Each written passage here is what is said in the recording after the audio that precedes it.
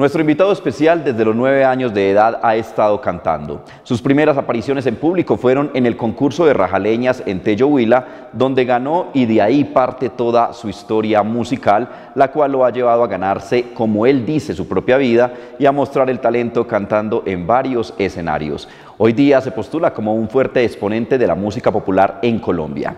Hoy entraremos en confianza y conoceremos un poco de la vida detrás del artista de El Chacal del Sur. Bienvenidos.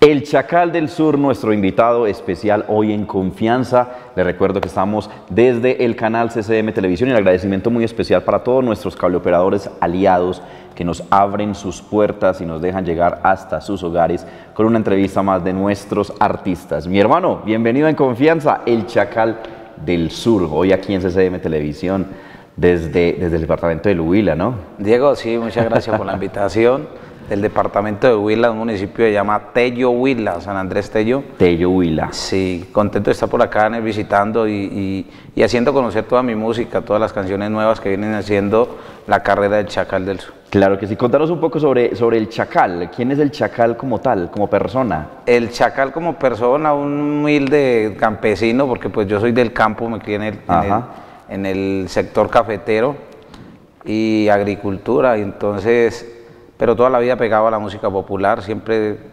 escuchando música popular de los grandes, de Posada, de, de Arido, de Charrito, y entonces eso, de eso viene, depende de ver con el gusto de la música popular, el gusto de, de, seguir con la música popular. En la infancia, ¿cómo era el Chacal en la infancia? ¿Era era melómano, le gustaba cantar, era extrovertido. ¿Cómo era el, Chacal? ¿Qué música escuchaba cuando estaba pequeñito? ¿Qué recordás, hombre? Siempre, yo a los nueve años me gané un concurso de, de, rajaleñas, como ser la trova acá en, Antioquia, allá le llamamos rajaleñas. A los nueve años participé en un concurso infantil y, y me gané un concurso de rajaleñas. Siempre he estado con el tema de la música Siempre ha sido así, sea con un par de etapas de la cocina de la mamá, eh, haciendo bulla, con lo que sea, siempre ha sido la música popular, la música popular desde niño. Y era lo que escuchaban en la casa, me imagino sí, claro, que el campo familiar. que la música carrilera, que es la misma popular, digamos, un ejemplo, yo en el, por ahí, en, un, yo después de los siete años en adelante era escuchando música popular Ajá. Siempre ha sido música popular. Háblanos de la rajaleña un poco. ¿Cómo es, cómo es el tema de la rajaleña? Pues sabemos que es como, como una especie de, de, de, trova también, son, son sí, es una pero ¿cómo es el, el ritmo y, cómo es, cómo es una, una rajaleña?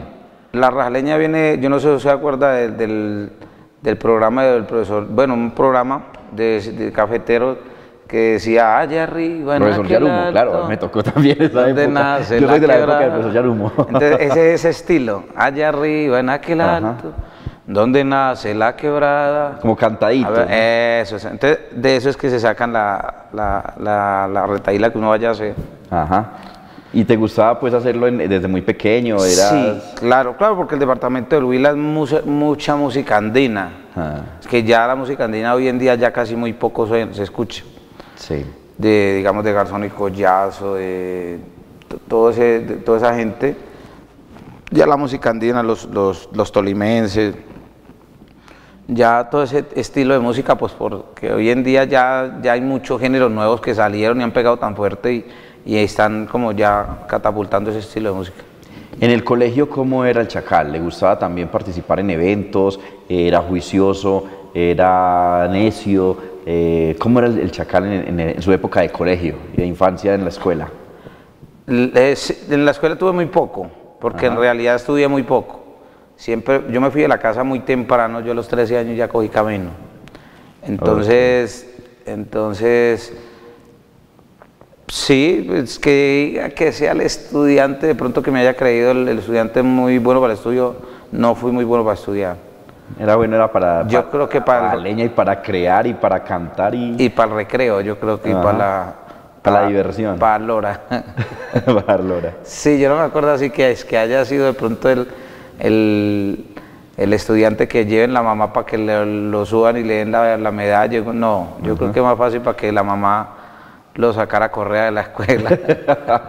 sí, pero, pero con talento al fin y al cabo. O sea, a veces, a veces de pronto no hay habilidades para el estudio porque pues no todo el mundo tiene las habilidades para, para estar eh, estudiando, pero hay habilidades para un talento, para un arte, para otras cosas. Sí, me que hay fotos, hay, hay una foto estos días que tiran al grupo, cuando uno tiene, eh, la familia tiene grupos de hermanos y están los hermanos y la mamá eh, y tiraron una foto donde yo con, como, haciendo como una presentación de niño en la escuelita. Entonces, entonces vengo seguro con el, la música, siempre ha sido la música. En la adolescencia, me hablas de que de edad de 13 años ya prácticamente buscando alternativas, abriendo caminos y todo eso.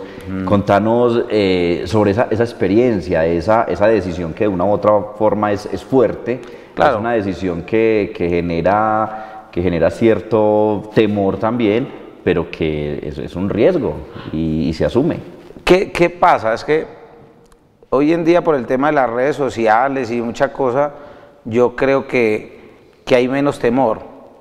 Si me entiendes, los pelados pueden ver las cosas, hoy en día la juventud ve más las cosas, nosotros en ese tiempo uno arrancaba un camino y como dice el cuento, pues más ciego, porque pues en serio usted no sabía ni cómo era una ciudad. Hoy en día un pelado de un campo ya sabe que, la ciudad, digamos un ejemplo de Medellín, está el metro, está el Parque Las Luces, sin necesidad de ir allá ya sabe que eso existe, es de esta forma.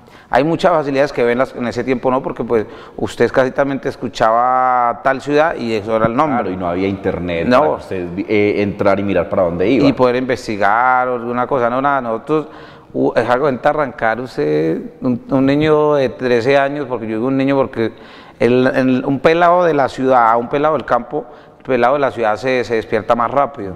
En el campo hay como más, como más miedos, como más esa vaina de que eso no es así, la persona es más calmada y viene a vivir, a, vivir unas cosas más, más fuertes en la ciudad porque él no lo ha vivido.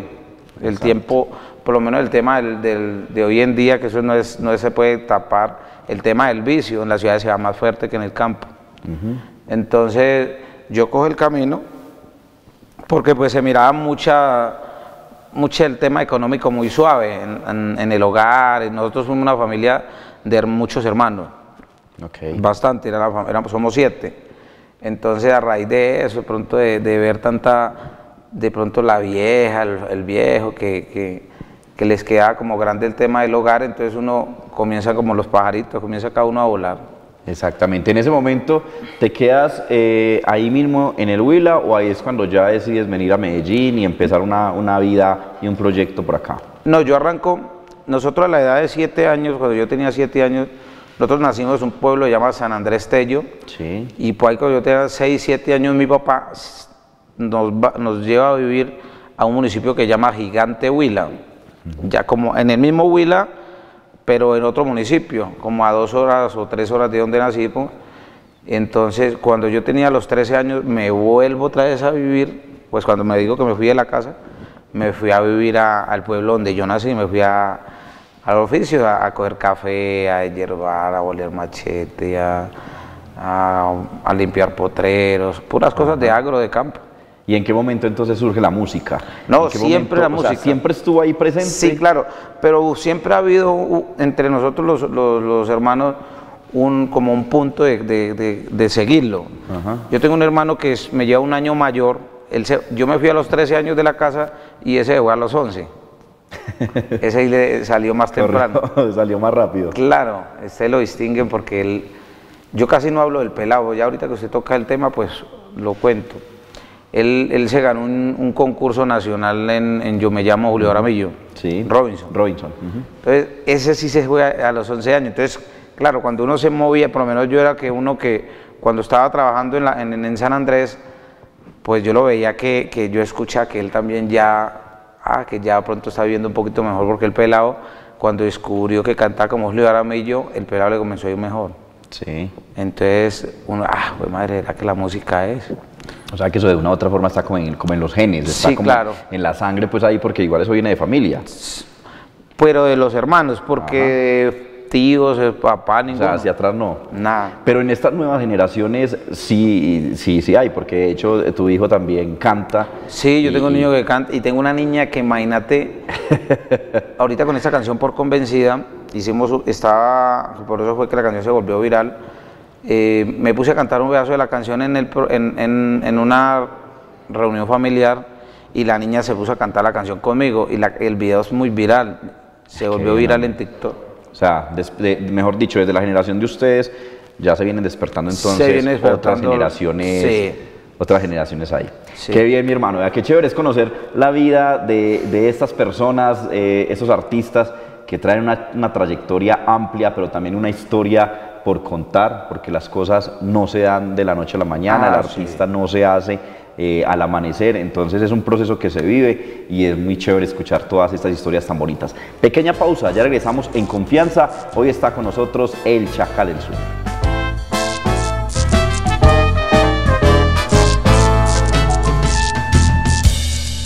Hoy volvió la que dijo que nunca volvía. Hoy volvió la que ayer salió muerta de risa y volvió llorando y arrepentida porque le fue como los perros en misa. Y si la hubieran visto, lo feliz que estaba ese día, empacando maleta me cantaba y se reía. Era lo que me decía, aquí no vuelvo, aquí no vuelvo, me lo decía.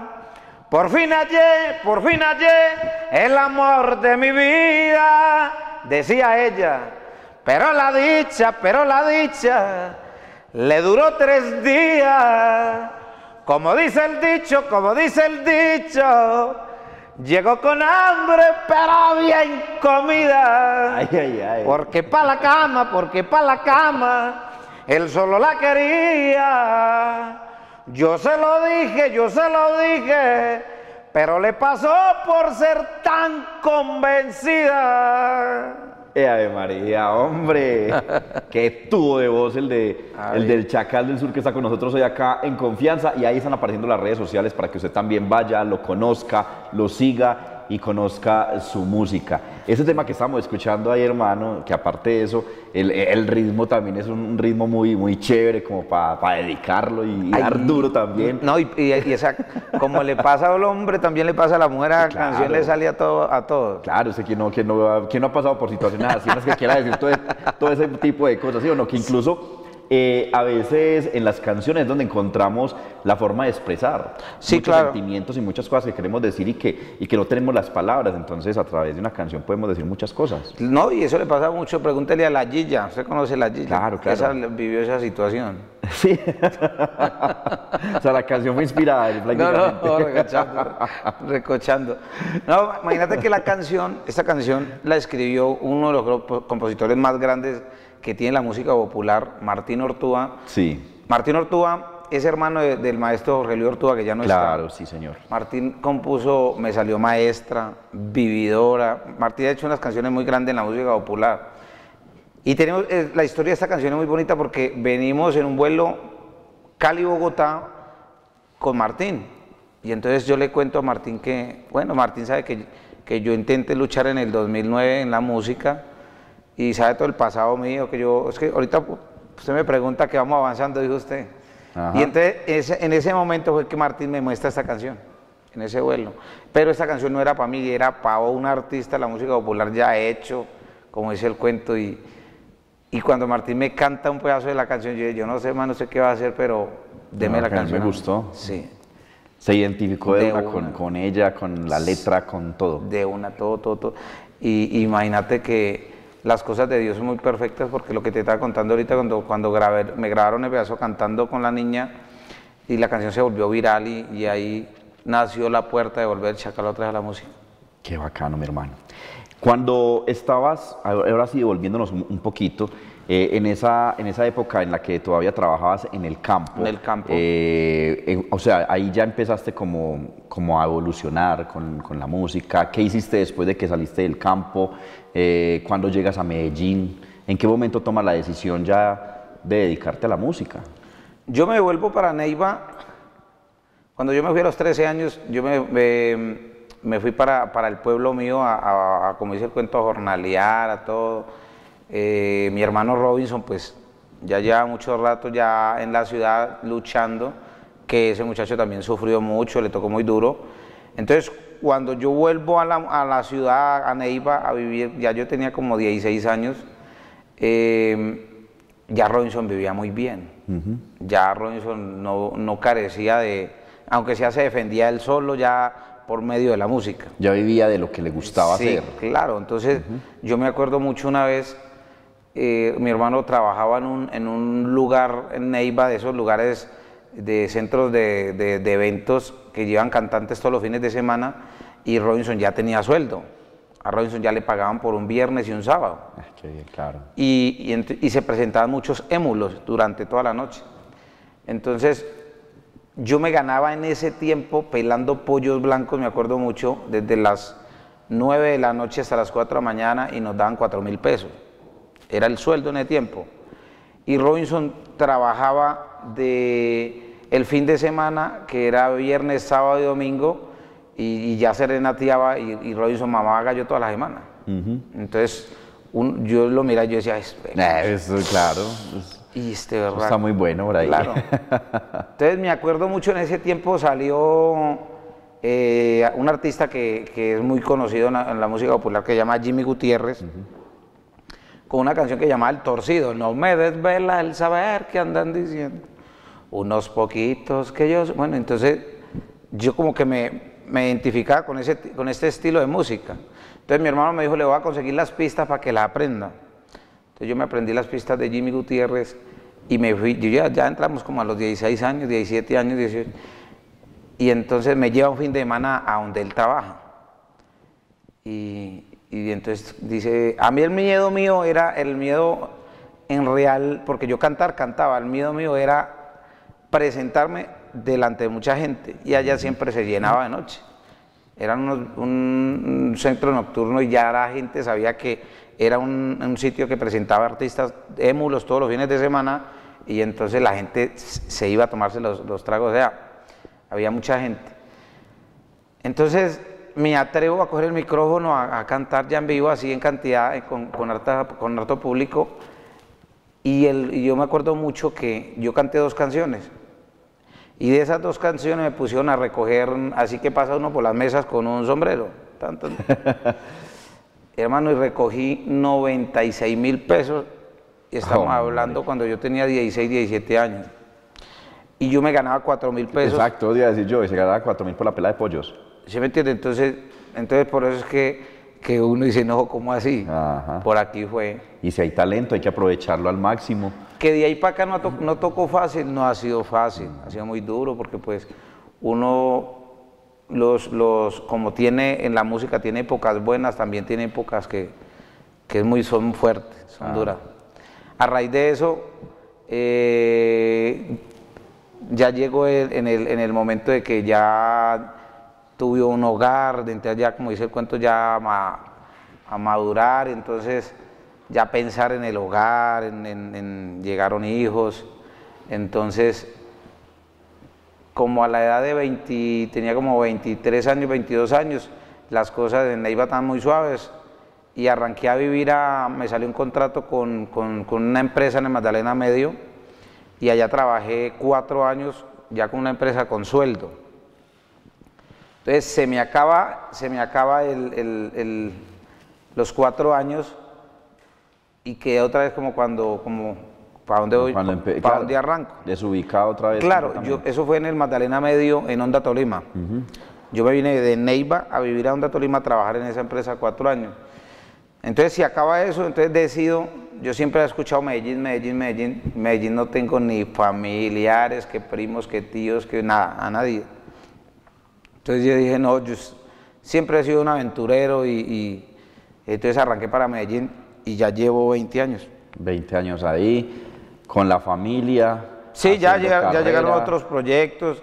Por lo menos en el 2009 me...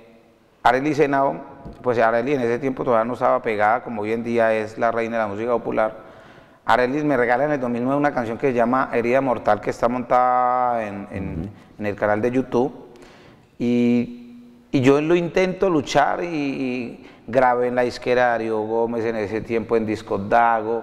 Eh, muchas cosas que nunca lo había vivido y pensé que, mejor dicho, ya me, me sentí artista. Y me pegué, fue una estrella a la berraca. Pero no mala, sino un aprendizaje más. Entonces luché y luché y ah, vi que no, no se me dieron las cosas y entonces nosotros estamos abriendo en ese tiempo una empresa de, de sonidos, de logísticas para eventos en Medellín, con, en, asociados con unos amigos y entonces me tocó decidir o sigo luchando en la música o nos ponemos pilas para, para seguir haciendo eventos con, con alcaldías, con gobernaciones y, entonces nos seguimos por, el lado de la, de, de la empresa primero. Y venía como trabajando solo en la empresa. Eh, tenía a Julio Aramillo a Robinson en, la empresa metido. Eh, pero no pensaba todavía llegar a la música, volver otra vez a la música. Pero cuando me graban con la, por esta canción por convencida en el evento que te digo yo de la reunión familiar y un youtuber fue y subió el video a las redes sociales y la canción se volvió viral. Entonces yo dije, no, pues yo voy a volver a la música. O sea que por convencida es el, el regreso del Chacal como tal a, a, la música. A la música popular. Mi hermano, para que continuemos con esta, con esta bonita historia, vamos a hacer una pequeña pausa y ya regresamos aquí con el Chacal del Sur que nos está acompañando hoy en confianza, contándonos esta historia tan bonita. Pausa, ya volvemos.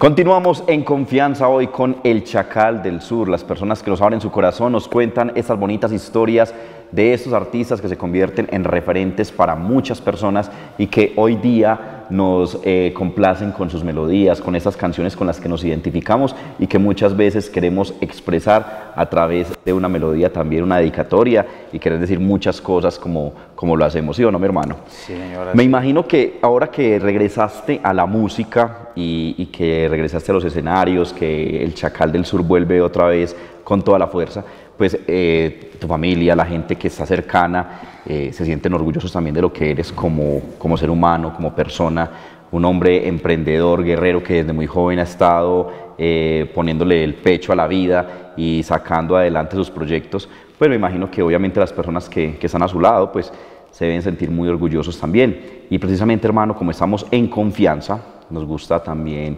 eh, sorprender a nuestros invitados, hacerlos sentir como en la casa y por eso tengo acá el saludito de una persona muy especial para usted.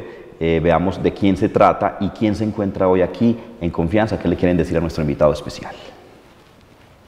Hola hijo, aprovecho y le envío un fuerte abrazo lleno de muchas bendiciones. Papi, feliz de verlo que volvió a integrarse a la música y qué felicidad tan grande porque lo está haciendo con toda la actitud. Acá mis, hijos, su papá, todos estamos, sus hermanitos están felices de verlo, cómo va con esa música, todo lo que le escriben, todos los, bueno, están muy felices, la gente le agradezco el apoyo que le están dando, todos los mensajes tan bonitos que, y qué letra tan hermosa que tiene esas canciones. Dios los siga bendiciendo, me siento muy orgullosa de ti, mijito. Bendiciones. Ah, una personita de tu vida, ah. orgullosa de, lo que estás haciendo. Contanos, hombre, sobre este pilar fundamental. Mi mamá. Ajá. Esa es la, viejita. No, mi mamá, pues, mi mamá es de esas mujeres, hermano, que, que yo creo que esa es la que le infunde de niño a uno la, persona que tiene que ser. De pronto, la nobleza viene de esa mujer. Em, de pronto, muchas veces uno miraba allá en la, en la vereda atrás, uno vivía situaciones muy, muy tesas y habían familias que vivían unas situaciones más tesas que la de nosotros. Entonces, uno miraba a ella, digamos, es de esas personas de que quitan el, pan de la boca para darse a la otra persona, así esté también viviendo esa misma situación. Mi mamá es, yo, es todo, yo he sido muy, como muy pegado a mi mamá. Así de pronto me haya tocado coger camino muy temprano, pero, pero muy pegado a mi mamá. Siempre he sido, todo el, motor ha sido siempre la, vieja, como cuando, ah, que, que sale uno con esos sueños de que no, yo tengo que que salir adelante y lo primero que tengo que hacer es ayudar a mis viejos, a mi vieja, es así, siempre, siempre fue así con eso. Siempre hay como un motor, una, proyección y, y, es esas personas. Obviamente, eh, como usted mismo lo dice, eh, saliste de tu casa temprano, con temprana edad, pero de igual yo creo que antes fue una fortaleza también para poder apoyar la, la, familia, fueron muchos hijos también, entonces sí, claro. de forma no, aportar un poquito. Y hoy en día, imagínate que, que tan bonito, hermano, que le tocó muy duro. Ella le tocaba, digamos, coger, hacer, levantarse temprano a, organizar un ejemplo los hijos y irse también a coger café con los hijos, a, trabajar el campo. Y hoy en día ya verla, ya la vieja ya relajada, hoy en día vive en la ciudad. Nosotros tenemos la finca paterna todavía. ¿Están también en el Huila? Sí, claro, en el Huila. Y pero entonces ya hoy en día la vieja ya no se mata, gracias a Dios, la vieja ya vive en la ciudad, el fin de semana de pronto si es un puente se va para la finca. Eh, ya, ya la vida le dio un vuelco totalmente a, la vieja y a todos, porque a, todos nos ha cambiado mucho la vida. Yo creo que eso es una, una gran satisfacción, eh, el ver que, que, los padres que ya hicieron un trabajo arduo por levantar eh, los hijos, por guerrearse en la vida, verlos hoy en, una, en un estado de tranquilidad, poderles ayudar, poder compensar de una u otra forma eh, tantos esfuerzos que, que, hacen los padres por los hijos, pues es una gran satisfacción también para, para uno como ser humano. Sí, claro, y para mí es una sorpresa, pues va, vea, tiene, tiene muy buena, mucha, muy buena flecha, porque pues la vieja está en, Gigante Huila, está lejos de aquí a allá, entonces tiene muy buenos contactos usted para llegar al de la viejita, yo no sabía que usted, que la, ella no ha sido de cámaras y esas cosas, ¿no? ha sido muy, muy, gente del campo, gente muy, muy sana, muy, pues, no es porque no, no tenga la capacidad de salir en las cámaras, sino que pues no, la vida ha sido muy poco de, entrevista y todo eso. Pero vea que estos, estos esfuerzos y esas pequeñas cosas, estos pequeños detalles son los que se valoran también. Claro. Porque obviamente, o sea, eh, el, el, amor, el cariño de padre hacia hijo, de hijo hacia padre siempre está, pero no todos los días se expresa.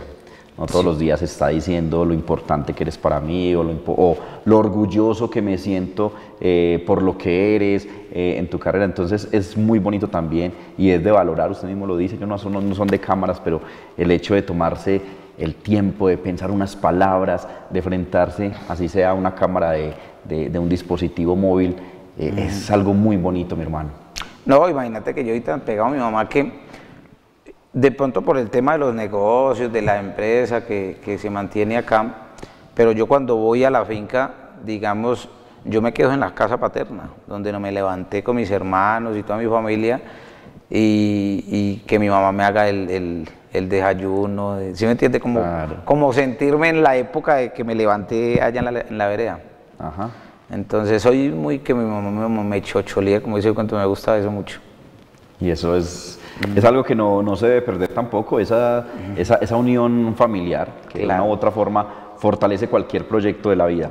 Hermano, retomando el tema de, del género, hablando del género popular, el género es un, eh, es un género que ha tomado demasiada fuerza en la industria musical, en, en, jóvenes, niños, adultos. ¿Qué piensas del género hoy día, eh, de la industria y de la, de la importancia que tiene el género popular ya en la música? No, pues yo qué te puedo decir de la música popular. La música popular un tiempo que se hablaba que la música popular era solo de, viejitos y de, gente adulta y ya, pero la música popular hoy en día tuvo un, después, los, tradicionales que, fue, digamos, en mi forma de pensar que empezó la música popular fue Gabriel Reimo, siempre lo hemos dicho, y ahí nació, digamos, Darío, Posada, Charrito. Y en la época de Darío, Posada, Charrito, pues...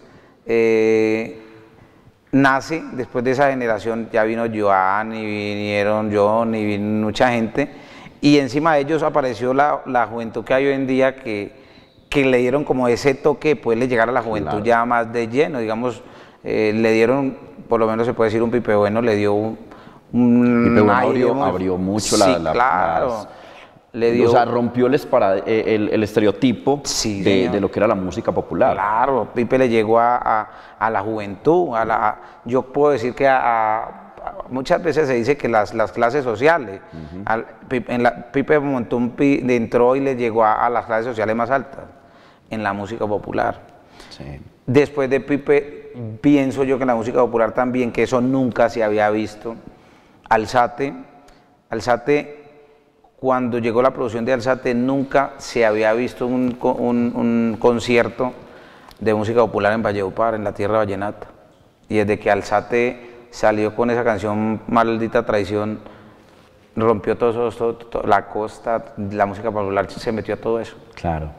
Y, y, ahí, y ahí, también se, se abre la, la, puerta para las mujeres, también la, las mujeres empiezan a incursionar y hoy día pues tenemos grandes exponentes y, y obviamente ya, ya la mujer es, es, muy fuerte también en el género. No, pues mire que Areli ya tiene dos novelas, veo que ya, está, ya, ya va en dos novelas. Entonces, no, la música popular es una cosa que ya es, siempre ha sido grande, pero lo que ha pasado hoy en día últimamente la, volvieron ya más, más ranqueada. Así es. Y hoy día eh, se trabaja mucho las fusiones, los géneros, ya entonces está fusionando también eh, música popular con, con, género urbano, con los mismos vallenatos. Eh, hay una, una fusión de, de, música muy bonita. Claro, y con, hasta con el mismo reggaetón, esa canción que sacó Johnny con el hijo, esa canción se quedó para el reggaetón y para la música popular. Gustó y entonces vienen, vienen detrás de eso, entonces viene como que las otras personas que vienen trabajando y dicen, uy, esto como que, que casa, entonces comienzan a insistirle, pasa bordo veo que también viene haciendo unos estilos muy bacanos con la música popular también. hay una fusión de ellos con, con, Luis Alfonso también. Sí, eso sí. Entonces, todo hace eso que que estemos en el género, yo digo estemos porque yo ya en ese momento, gracias a Dios, estoy comenzando a entrar, entonces yo vengo con popular, popular tradicional, el, con el que arrancó eh, Posadita, que arrancó Darío, que arrancó, es el tradicional, ¿sí me entiendes? entonces, pero estoy metido en el mismo, en, el mismo combo. Qué bueno, mi hermano.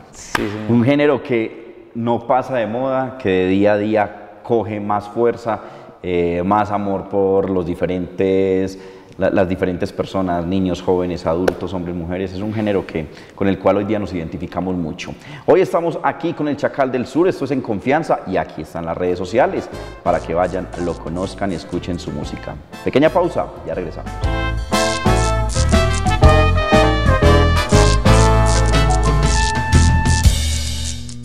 Amigos y familiares, yo quisiera pedirles antes que yo me muera, que no derramen su llanto ni me lleven esas flores cuando esté sobre la tierra. Hoy quisiera que me quieran ahora que me encuentro vivo, porque así es que yo lo siento. El Chacal del Sur. El Chacal del Sur, sí señor. Hablando del Chacal, contanos por qué el Chacal el chacal de dónde surge, por qué del sur y por qué el chacal. El chacal, yo siempre, siempre he pensado este tema del chacal, como yo me fui de la casa tan temprano, lo que estábamos hablando, entonces usted cuando se, se, vuelve pronto un secretario en una finca, como dice el cuento, el secretario roba huevo, el mandadero, entonces le ponen apodos. Sí, sí. Entonces no faltó en, en, en, el camino alguien me puso a mí el chacal y todo el mundo se me, decía solo el chacal, el chacal, chacal, tal cosa. Al principio me daba como rabia, porque lo sentía como un nombre como, como muy agresivo, pero como un remoquete, el famoso apodo que le, coloca le colocan a la persona. Y ya cuando vuelvo a la música, pues yo ya me enseñé que me digan el chacal. O sea que te dicen el chacal desde hace mucho sí, tiempo. A, mucho rato, ¿no? Yo ahorita no, lo tengo hace rato y ahora en la música del sur, porque pues del departamento del Huila es del sur de Colombia. Sí. Entonces le, le, añadimos del sur. El Chacal del Sur. Bueno, ahí está, y ahí están las redes sociales también. Mi hermano, tenés eh, dos hijos, si no estoy mal. Sí, tres. Tres hijos. Sí.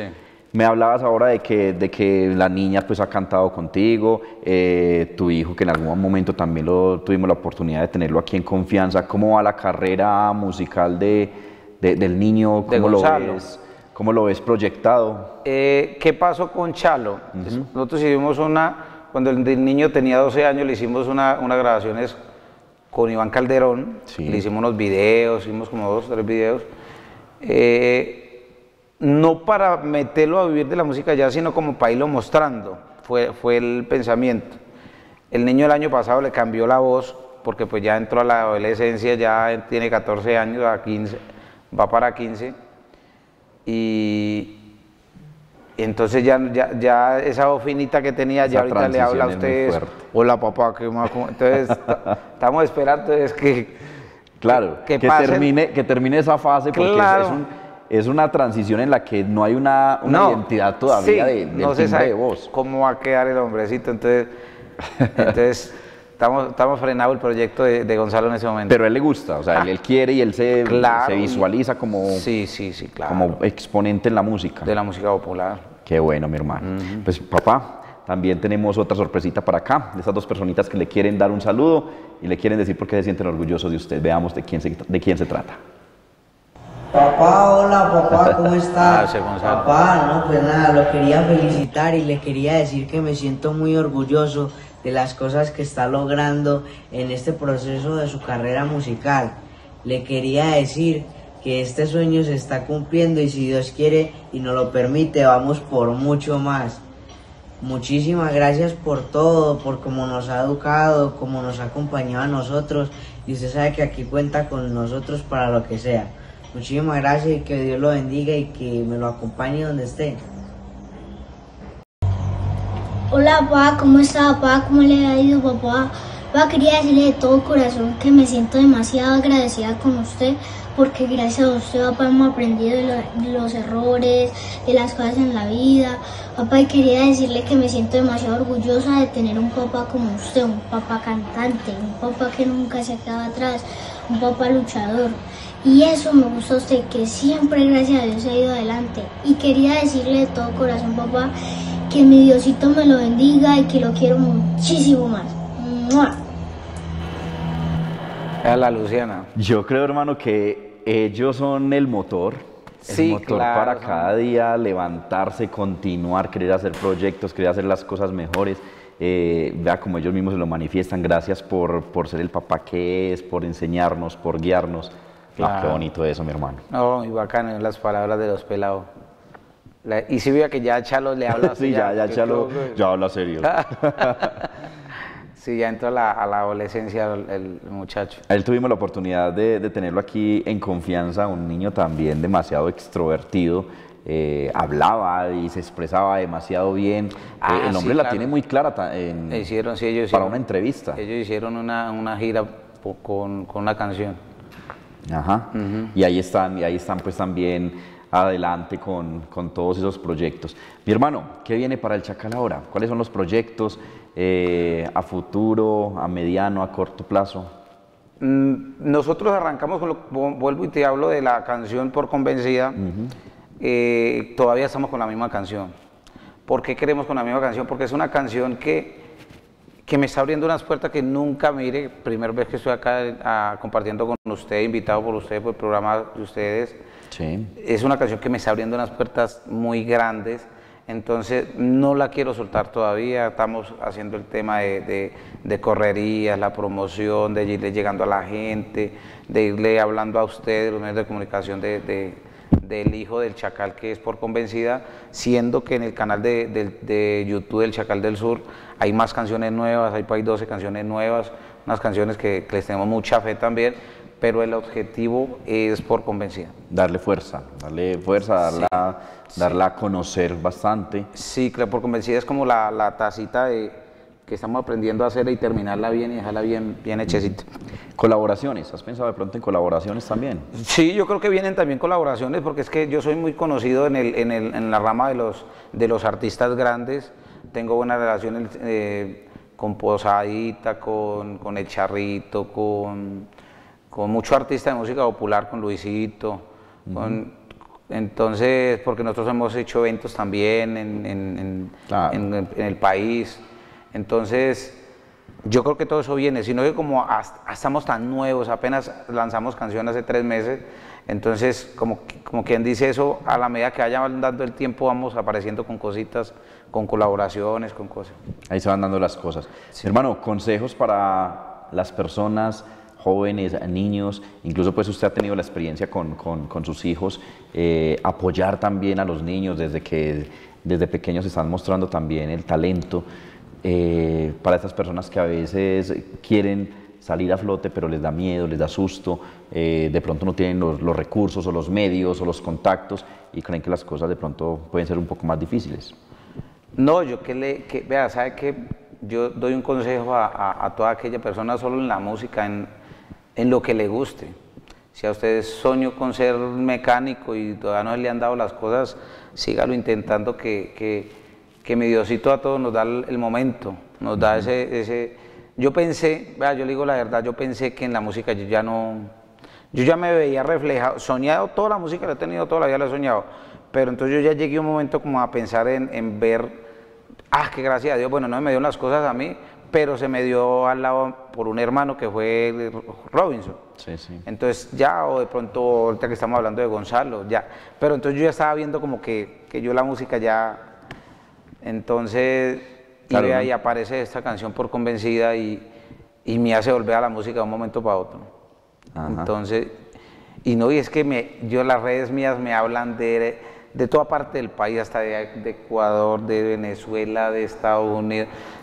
Me hablan, yo, yo me mantengo así, así, y, ya, me, ya me regañan las personas que andan con nosotros porque dicen, usted ya es pegado, pegado ese celular y es respondiendo, respondiéndole mensajes a todo el mundo. entonces, entonces yo digo, esta canción, las puertas que me está abriendo son muy, muy, muy bonitas. Eso quiere decir que se está haciendo bien el trabajo, que, que la gente está recibiendo el producto con cariño, con agrado, que está, está, pegando y es lo, importante. Está llegando, le está llegando la canción. Claro que sí. Mano, una anécdota que recuerdes ahí de pronto en, en algún momento de, de, tarima, en presentación, algo que, que recuerdes que, que te haya marcado hasta el momento que me haya marcado de pronto por los nervios una vez en una tarima, tenía que subirme a cantar y, era, eso fue en el Huila, más, más en un municipio que se llama Algeciras Huila. Eh, mucho nervio porque estaba lleno el, escenario y yo no había vivido eso. Entonces tenía mucho miedo, mucho miedo, como, como cogido de los nervios. Entonces recurría a, que yo he escuchado que es muy bueno para los nervios un traguito. y, entonces... Esos traguitos, hombre, que no faltan. Claro, y entonces comencé a pegarle a... me compré una media, una botella y yo solo comencé como a tomármelo arrebatado, como muy rápido. Pero era para el nervio, cuando ya me dieron la oportunidad que yo iba para tarima a cantar, entonces y yo ya más contentico de lo normal. Claro, y entonces a lo que me iba como en la primera o en la segunda canción, nunca se me olvida, me, me, enredé y me caí en la tarima. entonces es una de, de, las tantas. Claro. Porque hay otra que también tengo testigo de eso, que ellos vienen en Onda Tolima. Eh, una vez en una plaza de toro, esa es muy chistosa, eh, el que me había contratado quería que yo que yo entraba cantando eh, a, caballo en la Plaza de Toro. Sí. Y el caballo que me han conseguido era un caballo, hay caballos que muchas veces usted antes de montarlos pues tiene que llegar y que... Conectar con el caballo y... No, y mira de pronto digamos que la, que la, montura esté bien amarrada. A la medida se siente, Eso, sí me entiende, que usted se siente bien tenido. Y, y, entonces también los nervios, que uy, qué tal que, que, que cante mal o cosas así. Y cuando, cuando llegué como, como a, donde estaba el animal, el caballo, ya era hora de salir a, al evento y sueltan la, la, pista, en el tiempo no era con agrupación sino con pistas, y me monto en el caballo, era un caballo muy, muy brioso, el caballo era estallado, estallado. Entonces cuando abren la puerta y, me, y entro yo, y la, la bomba de la gente cayó, se me espantó en plena tarima, en plena correteo. Entonces yo no cantaba, sino era teniendo el caballo, dándole la vuelta a la plaza. Son experiencias, experiencias únicas que lo marcan a uno, pero que, que hacen parte también de toda una, una trayectoria de momentos bonitos, momentos no tan bonitos, momentos que, que son únicos. Hermano, gracias, gracias por estar acá en confianza, por abrirnos su corazón, por dejarnos conocer un poco de El Chacal del Sur. Las puertas de acá están abiertas cuando quiera regresar y desde nuestro equipo técnico le deseamos los mejores éxitos ahora con este tema Convencida que está lanzando. Por Convencida, sí, hey, muchas gracias por, por, esta invitación, por esta sorpresa, me, me hizo como aguas, los ojos, porque pues yo soy muy familiar, ¿sí me entiendes? Yo ese tema de familia soy muy familiar y, no pensé que usted me fuera a tener esa, esa sorpresa de, mi madre y los hijos ahorita acá. Eso es en confianza. Muchas gracias a usted, a, a, Gilla, que, que también créeme y está acompañándonos. Así es. Muchas gracias. Así es, y van a continuar también en este proyecto. A ustedes gracias, gracias porque nos permite llegar con una entrevista más de nuestros artistas, cuando nos abren su corazón y nos cuentan todas estas historias. Nos vemos en la próxima. Chao, chao.